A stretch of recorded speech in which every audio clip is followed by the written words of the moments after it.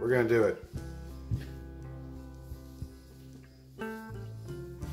We're gonna open up this here box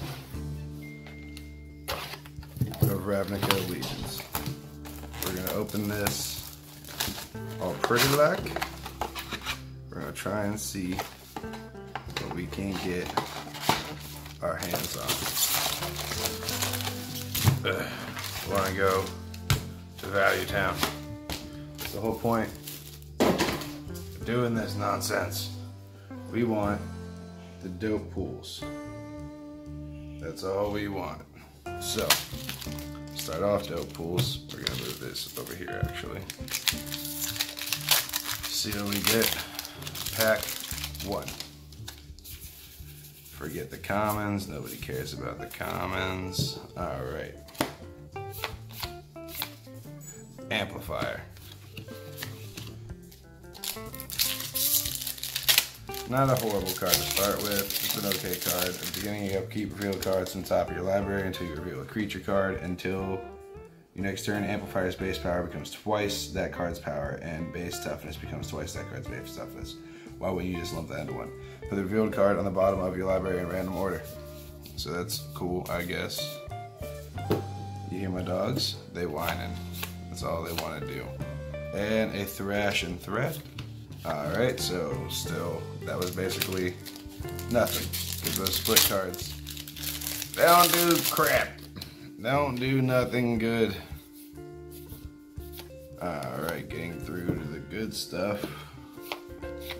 And, see, it's because I'm saying stuff about them. They're just going to keep popping up. Watch.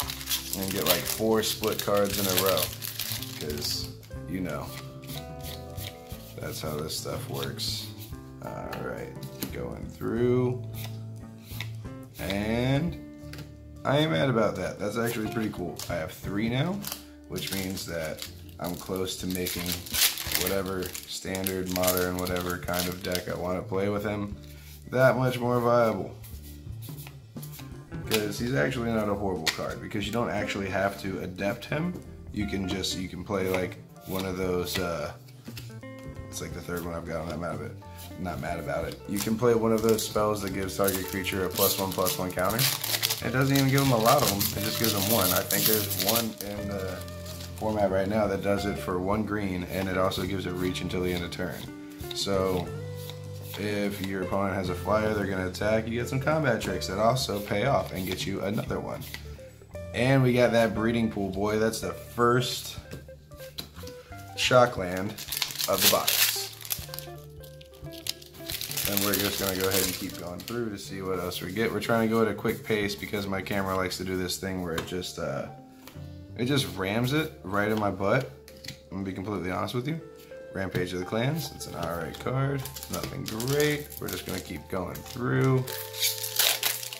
Go ahead and crack this bad boy. We're trying to go through quick.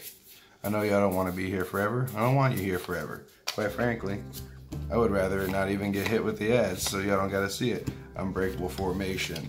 And we're gonna keep going. Have I not? I've not gotten a foil yet, guys. Not a single one. This is kind of lame. I'm not appreciating it. I would uh, rather have gotten at least one foil by now. But you know, no foils is cool too. That card's shit. Oop. Keep going through. We need to get some good stuff. So far, we've only gotten one of the Shocklands, and I believe like one card that's worth more than five bucks. See our first foil, which is nothing. That card's garbage too. Whatever. Lockets are lockets. We'll take them. Gives you mana, gives you cards. They're a locket. If you play Commander, they're a good card to have in it. It's not the worst. Alright, get into more of these uncommons. And there's our second, our second Shockland. Shock. We're gonna keep going. The goal is to get as many Shocklands as we did in the Mythic Edition. We pulled four Shocklands in the Mythic Edition, and we never turned back. They're pretty good. And Mass Manipulation. Still have not hit a Planeswalker yet. I've opened a bunch of Ravnica Allegiance and still have not seen a Planeswalker come by yet. And there's three of them. You got the Orzhov Usurper, you got the little Gruul Boy, and you got Dovin, which is garbage, but whatever. Dovin doesn't know what he wants to be priced at. He's like somewhere around nine dollars, and he doesn't know whether or not he wants to go up or down. But whatever. Gonna keep seeing what we got going on. Move through all this crud. And Hero Precinct One. I'm actually a fan of this card. I'm buying play sets of them because I think they're gonna go up in value, especially in uh, in Commander, just because there's a lot of multicolored spells and they're gonna do well. Especially like if you're playing any multicolored spell, a black and white spell at all, like Kaya's Wrath for instance, it pings off. Even though it destroys all creatures, the trigger will still go and you'll still get the 1-1 human creature token after that goes. And we got a foil Cinder Vines. That's right, boys and girls. Our second foil is a foil rare. We're doing pretty good for ourselves. I'm happy with it. Couldn't be more happy. We're gonna keep going and seeing what else we got going on. Go over to the Savage Smash. Open it up savagely. We're gonna savagely smash this pack for value. It's not how this works at all. It's like a lottery, we all know this. And a Hallowed Fountain. So that is our third shock land for the pack. We've gotten two foils, one of them being a foil rare. It's Cinder Vines, which like, whatever, it's okay. I don't really know if that's gonna get a lot of play. It's more of like a Gruul control card, which is kind of funny to see. Maybe we'll see some Jund or some uh, some weird color control. Theater of Horrors. It's the second one I've opened of those. I'm pretty happy about that. I actually like the cards because it exiles the top card of your library, and during your turn, if an opponent lost life, you may play cards exiled with uh, Theater of Horrors. So basically, every single turn, you get to start stacking cards on there. It's like another draw, and as long as you can get a little bit of damage through to your opponent, the value is there. Value, Town, and a Sphinx of Foresight. And a foil Homunculus, whatever. Uh, the Sphinx of Foresight's dope because if you get it in your opening hand, um, you can uh, you can scry the top three cards of your library, which is really helpful. Um, it's kind of a, a, callback to I forget what the hell they were, but um, there was a bunch of cards I believe in Phyrexia where if you uh, so I'm gonna go back. If you reveal it in your opening hand and a foil Pharaoh Macha. If you if you reveal it from your opening hand, you get some kind of crazy effect. I think uh, Chancellor of the Grove was one of the better ones because you just got like three green mana to start off your your first turn, which was kind of a big fucking push. It was kind of situational though, but it was pretty good. Uh, Incubation Druid and a foil Wilderness Reclamation. I'm gonna hold on to that myself. That's a dope card. If you don't know what uh, Wilderness Reclamation does, um, it's gonna get banned is what it does. But first and foremost, it untaps all of your lands at your end step. So you can do a lot with that. Incubation Druid in and of itself is a pretty good card. 0-2, tap it to add one mana of any color that your uh, land that you control could produce. If it has a plus one plus one counter on it, you add three instead. And you could adapt it, you could adapt three it for five mana, so that's pretty cool. Uh, once again though, you just plug it with a tiny little spell that gives it plus one plus one for like one mana.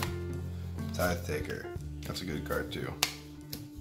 I like Tithe Taker because basically what it does is it makes shocks cost one more, makes uh, basically anything cost one more. Activate cost. Alright, so spells your opponents cast cost one more to cast, and abilities your opponents activate cost one more to activate unless they're mana abilities. So that's pretty cool. That means that all of that uh,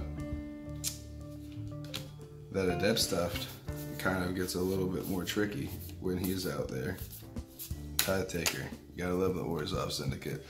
Alright, so going in, we got a Ravager Wurm. I like him a lot. I think he's pretty cool. Because uh, when he enters the battlefield, he does some stuff. What stuff do you ask? Well, he either destroy or fights target creature you don't control, which is pretty much destroying, or destroy target land with an activated ability that isn't a mana ability. So pretty much all of those the land cycles from like Dominaria that like you can sacrifice to do a bunch of stuff. Yeah, gets rid of all those, so that's kind of cool. Go over to the uncommons. All right, Frilled Mystic. I think that card's great as well. And another Judith. I'm not super upset about the Judith. We got one in our uh, Mythic Edition pack opening, so that was kind of cool. Going into this next one, we'll see what else we got. I'm just not too thrilled about a Magic card being called the Diva. You know what I mean? Like, I don't know. Uh, we got a Mythic. What is this one? Uh, Mesmerizing Benthid. When it enters the battlefield, create two zero two illusion creature tokens with whenever this creature blocks a creature, that creature doesn't untap during its controller's next untap step. Uh, it has hexproof as long as you control an illusion. So that's kind of cool. Creates two things, blocks some stuff. It's not bad at all. Not bad at all. Oh no, my camera's getting all messed up. Had to take a short intermission to fix the camera and to also answer my phone, which is also the camera. But we're gonna try and get right back into this and get as much of this done as possible. All right, so going through again, going just to the uncommons. Lumbering Battlement. We're gonna keep cracking these packs. Crack, crack, cracking these packs, cracker, cracking these packs. Cracking these packs like I'm special. So we're actually gonna one, two, three, two, three. Yeah. All right, cool. No foil in there. And Rix Maadi Reveler, pretty good card. I don't know if that takes longer if the regular way of just shuffling through the commons. We're just gonna keep back to our old ways of, yeah. And pretty sure we're starting to hit the duplication point there in this box. I think we already got one of those Nikita of the old ways or whatever the hell her name is. Nikya. Yeah, I'm pretty sure we already got one, but uh, we'll see what we got going on. And Gruul Spellbreaker. That's a good card. It basically gave a lot of people the idea of uh, Gruul control, but like Gruul control, the basis of it only works during your turn. So, like counter spells that are countering your spells, I guess. I don't know. And we got our first Planeswalker. We got Kaya. This is actually the first one that I've seen. So, so far in this pack, we got one foil rare, I believe two mythics now, one being a Planeswalker. We're to look through and see if we got any other mythics. No, we did got three. There's a Ravager Wurm. Did we get anything else? Any other foil mythics so far? Because we still got about a third of the box left. All right, so we still got a third of the box left. We got three mythics, uh, three shocklands, and one foil rare. Although it's a Cindervine, so it doesn't really feel like a foil rare now, does it? see what we get going on in here. And split card, so that means it's nothing. It means nothing to us. It's garbage. Gotta try and see what else we get. Let's hope we get one more. I want a Dovin. I don't even really know why I want a Dovin. I just do. I think he's a funny little guy. And a Seraph of the Scales. That's a good card. So that is four mythics for this box so far.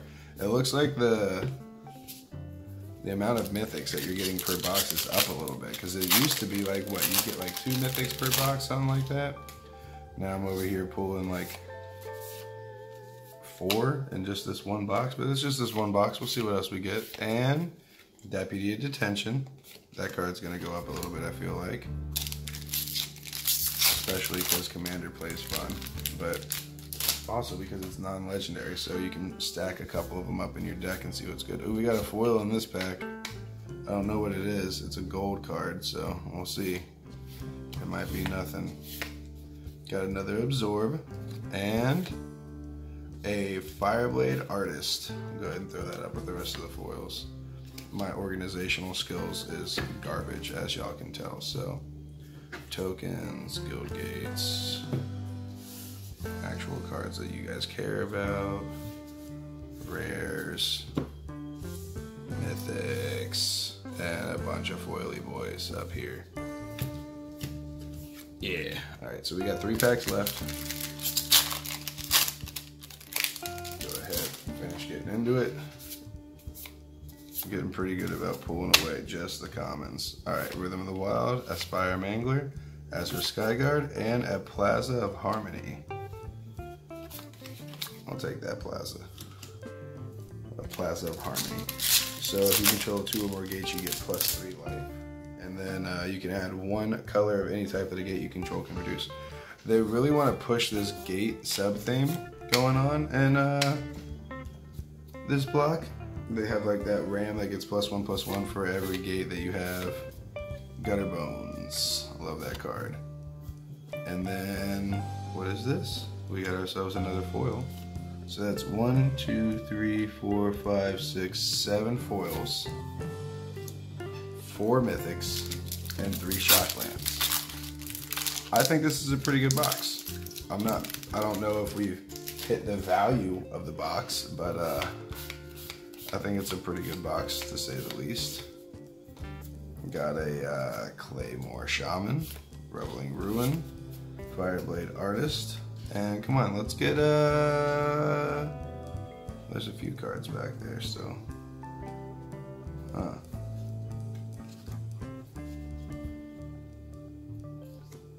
Um Biomancer's Familiar.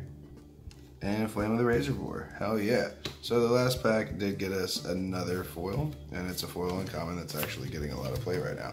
So going through we got a few good cards. Got a bunch of split cards that I'm not really super happy about or whatever. But what it seems like we've done here is build the basis for a decent little Simic deck. Or at least have some cards for it, so I'm not mad about it. Super happy about this Kaya, because now after the uh, Mythic Edition opening, that means I now have two of them, so that's cool.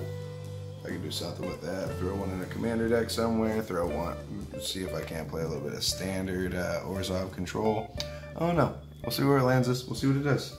But until next time, guys, I thank you for tuning in, watching my whole video. Uh, please, for the love of God, like and subscribe, because your boy needs views. Appreciate it. Thanks.